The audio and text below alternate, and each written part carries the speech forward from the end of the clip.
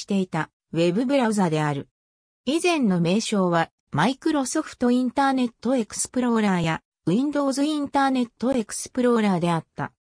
一般的に i や無 G と呼ばれる。後継ブラウザはマイクロソフトエッジである。Windows 95以降の Windows ファミリーには標準で含まれている。Windows モバイルにはインターネットエクスプローラーモバイルが含まれていた。以前はマッキントッシュ用のインターネットエクスプローラー4、Mac や HPUX と Solaris 用のインターネットエクスプローラー4 Unix も存在したが、これらは現在サポートされていない。現在はエッジのテーマを用いる。Windows 10から標準ブラウザはマイクロソフトエッジに置き換えられ、インターネットエクスプローラーの開発は終了し、マイクロソフトはインターネットエクスプローラーを利用しないことを呼びかけている。ただし、互換性維持のため、インターネットエクスプローラー11は Windows 10に引き続き搭載されており、セキュリティアップデートの提供も継続されている。ただし、2021年8月17日までに、マイクロソフト365アプリなどの主要アプリケーションでインターネットエクスプローラーのサポートが終了するなど、サポートは順次縮小されてきている。インターネットエクスプローラー10以前はすでにサポートが終了している。2020年2月には、インターネットエクスプローラーで YouTube にアクセスすると、このブラウザのサポートは間もなく終了しますと表示されるようになった。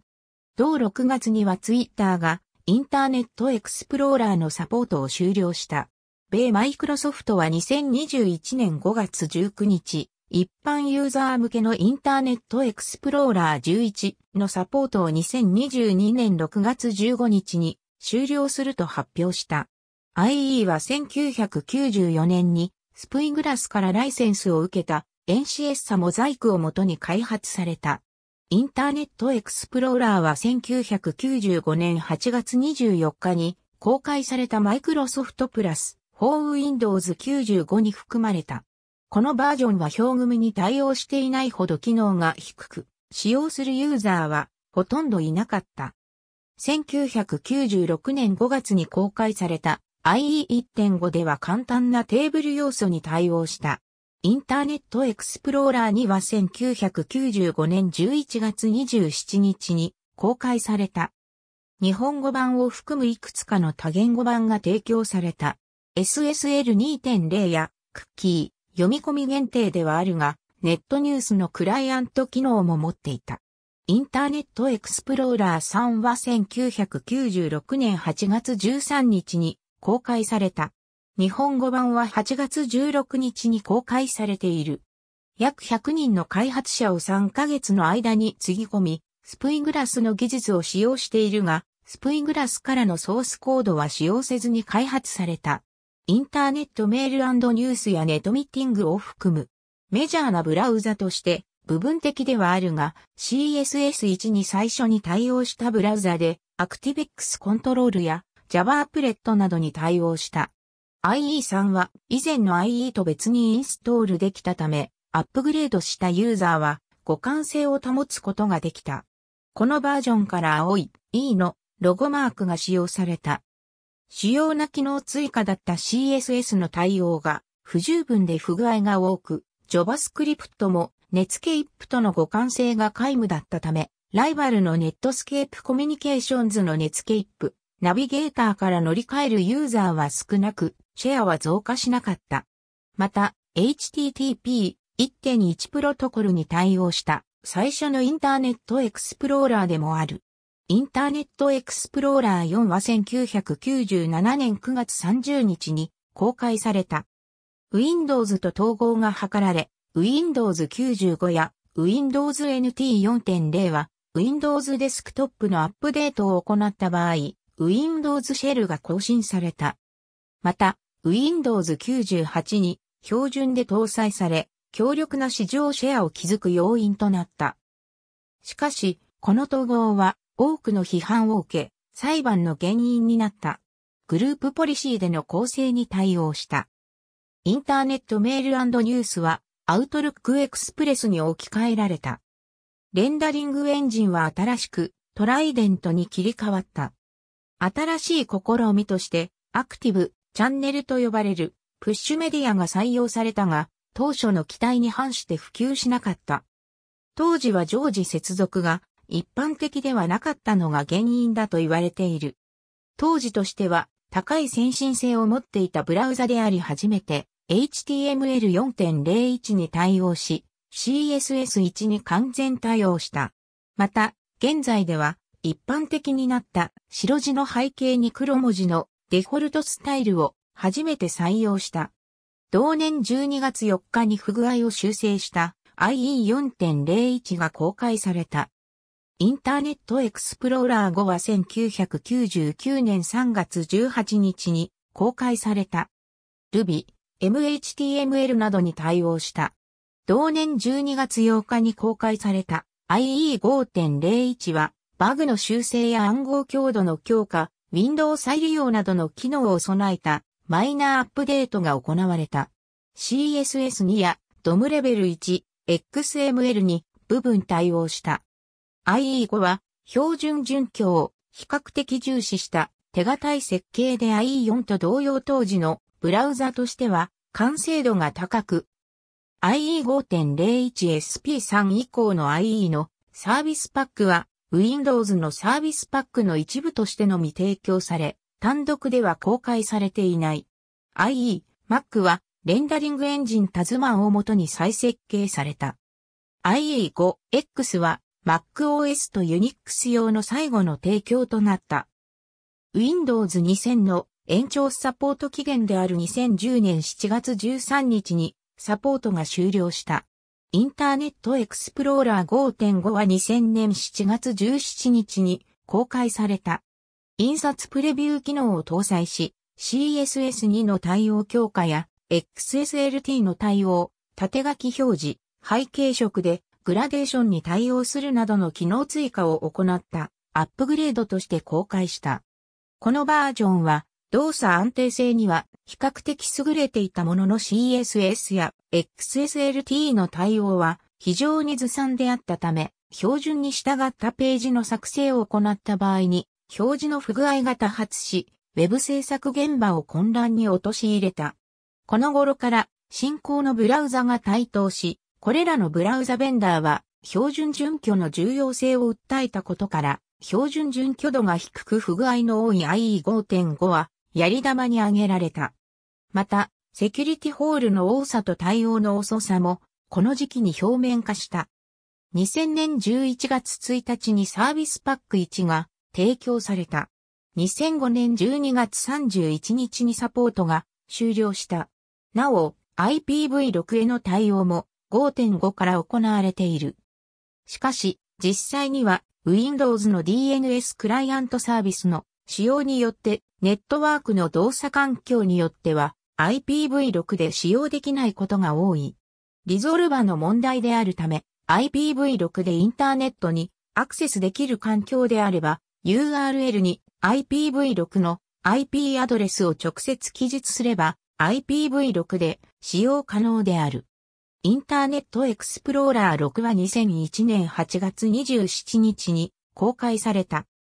DHTML の拡張、CSS2 の対応強化、DOM レベル2と SMIL 2.0への部分的な対応、内容制限されたインラインフレーム、JavaScript による独自のマウスポインタ指定にも対応した。他にメディアバー、Windows メッセンジャーの統合、エラー報告、自動画像サイズ変更、P3P と Windows XP ビジュアルスタイルでの表示が新機能として含まれる。反面、XHTML や IDON に未対応、PNG も完全対応はしておらず、CSS に対応も強化はしたものの不十分であるなど、公開時点ですでに時代遅れになっている仕様も目立った。IE6SP2 では、セキュリティ向上を目的としたいくつかの仕様の変更と廃止、ポップアップブロックなどいくつかの機能が追加された。2003年にはスタンドアイロン版の開発と提供を停止した。2005年に Windows XP と Windows Server 2003の X64 版がリリースされた。それ以降の X64 版 Windows には32ビット版と64ビット版の2つのインターネットエクスプローラーがインストールされているが、デフォルトは32ビット版になっている。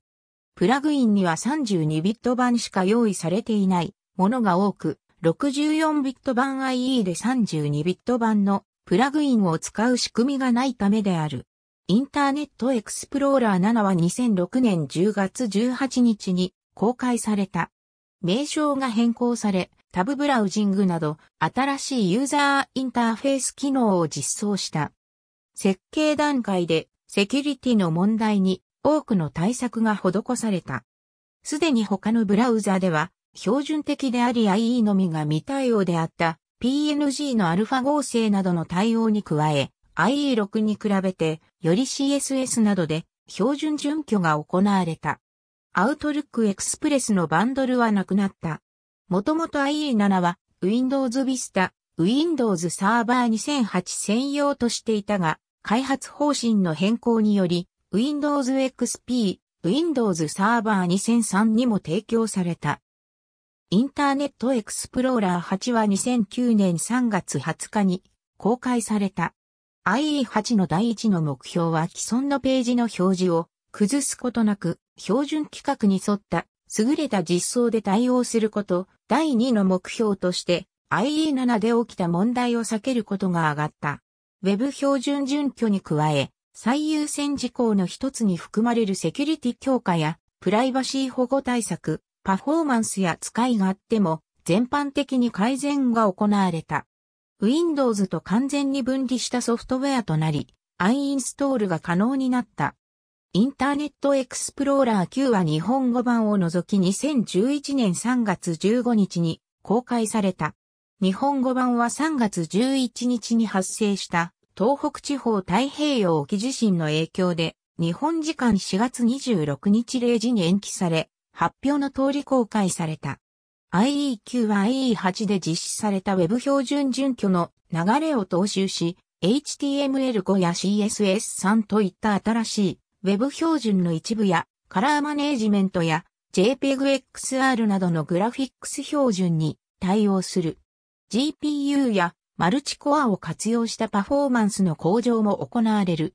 ユーザーインターフェースはサイト表示を中心としたデザインに一新された。インターネットエクスプローラー10は2012年8月15日に公開された。Windows 8には Windows UI 版と従来のデスクトップ版の2つがあり、以前の Windows に従来のデスクトップ版が提供された。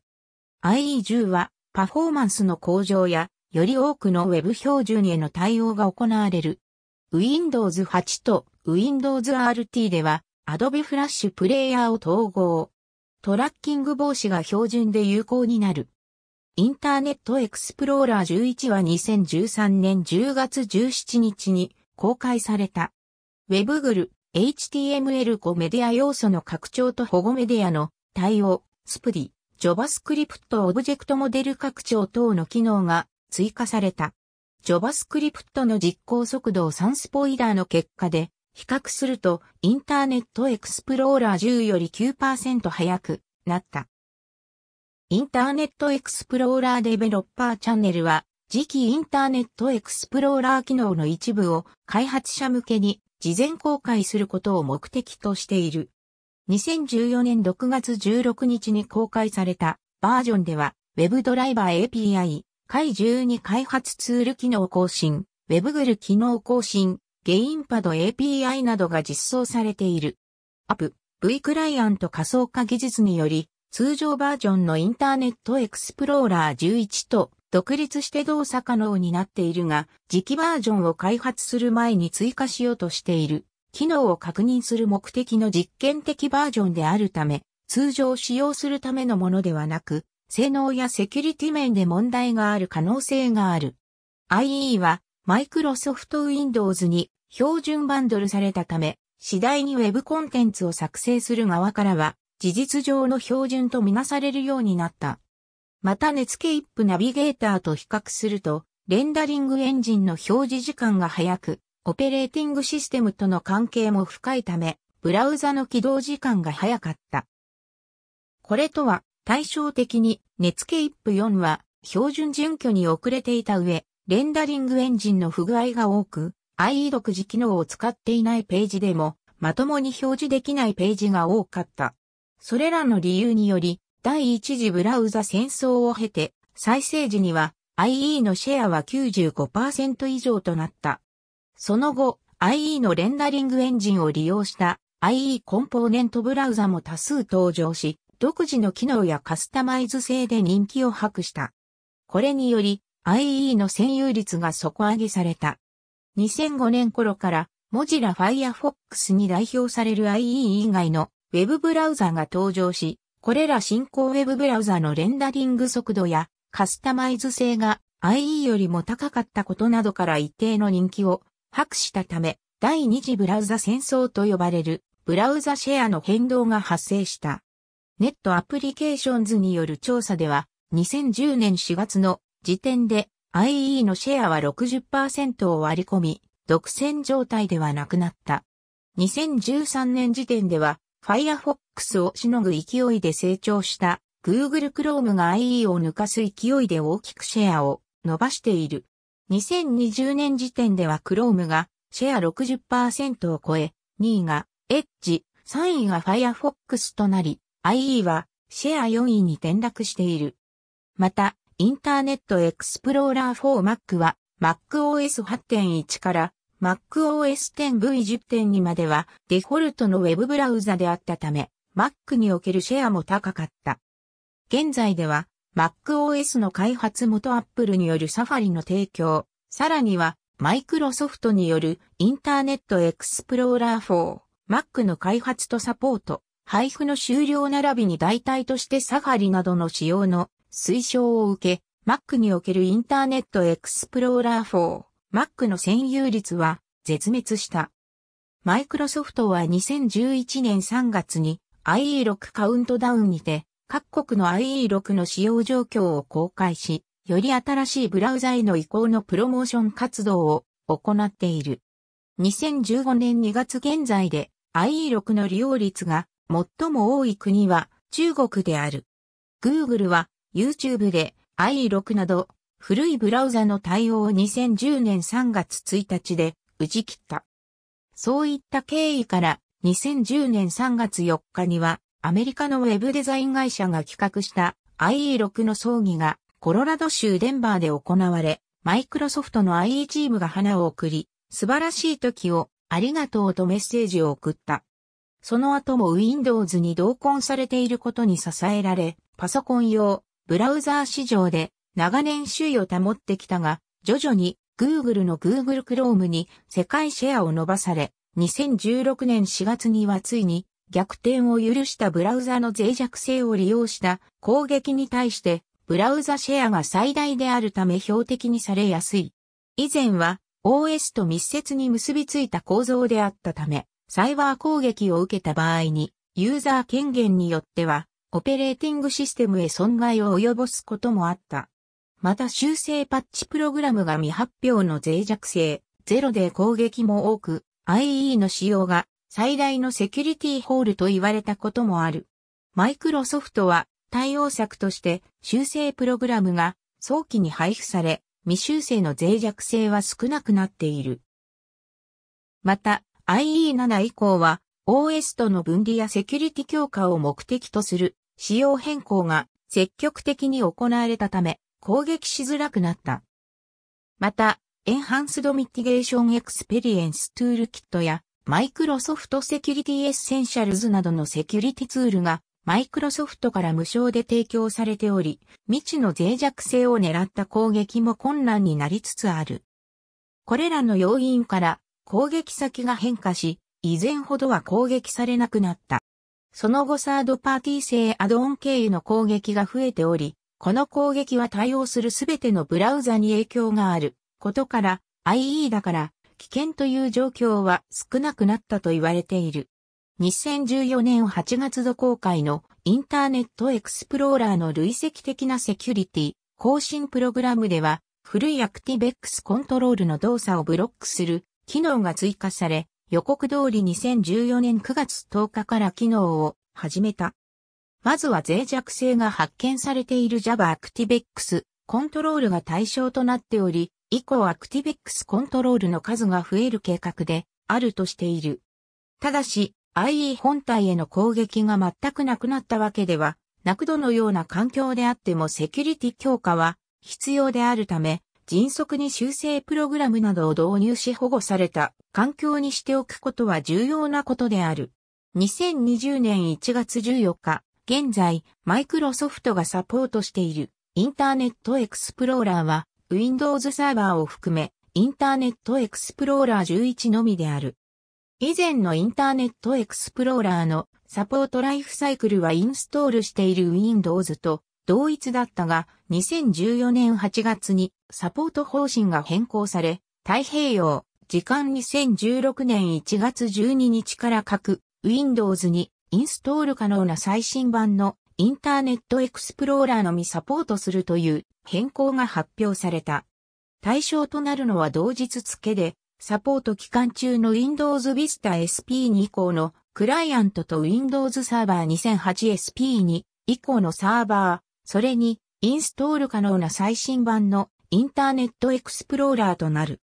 2016年1月12日までは各 Windows で使用可能な複数のバージョンのインターネットエクスプローラーの修正プログラムの新規開発が行われるが、同日からは各 Windows の最新版のインターネットエクスプローラー用の修正プログラムのみ公開される。例えば、Windows Vista では、インターネットエクスプローラー7とインターネットエクスプローラー8のサポートが2016年1月11日を最後に終了し、翌日以降はインターネットエクスプローラー9のみサポート継続となり、2017年4月11日に Windows Vista 自体のサポートが終了した。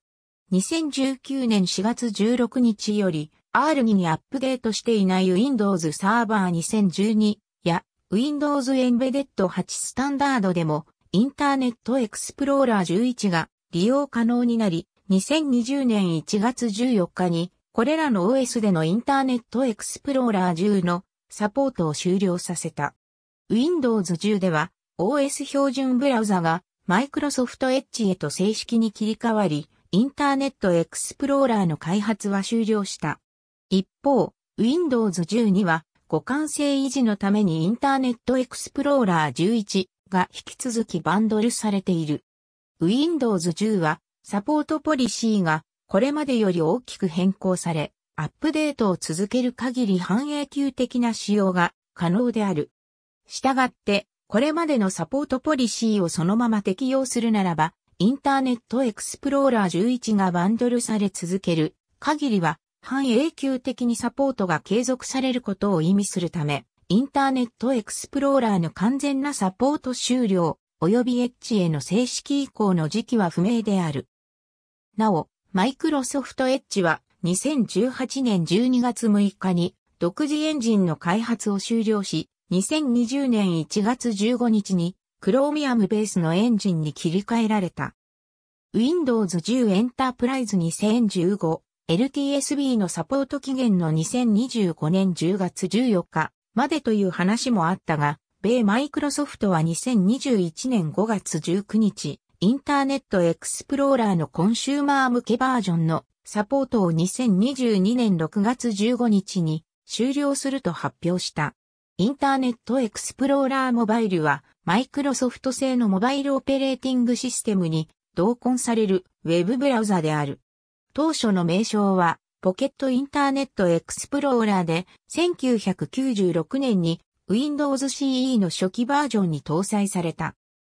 もともとはパソコン版のインターネットエクスプローラーとは別系統で開発されたものであったが、バージョン2.0以降はそれぞれパソコン版から機能を削減したものが採用され、後にパソコン版と同じくインターネットエクスプローラーに解消される。2009年には Windows Mobile 6.5に搭載されたインターネットエクスプローラーモバイル6からさらに名称を変更。2011年にリリースされた Windows Phone 7にはインターネットエクスプローラーモバイル9が同梱され、インターネットエクスプローラー9のレンダリングエンジンをベースにしている。Windows Phone 8にはインターネットエクスプローラーモバイル10が搭載。当初はマイクロソフト製の家庭用ゲーム機 Xbox 360には Web ブラウザ機能が搭載されていなかったが、2012年10月16日のアップデートでインターネットエクスプローラー 4Xbox を搭載。キネクトでのジェスチャー、音声操作や Xbox スマーティグラスプラットフォームによるスマートフォン等からの遠隔操作が可能になる。ありがとうございます。